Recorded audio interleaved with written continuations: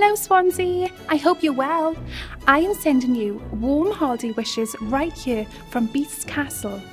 I can't wait to visit Swansea to take part in the virtual Christmas parade. Oh, but do remember, don't be a Gaston. Stay home and stay safe.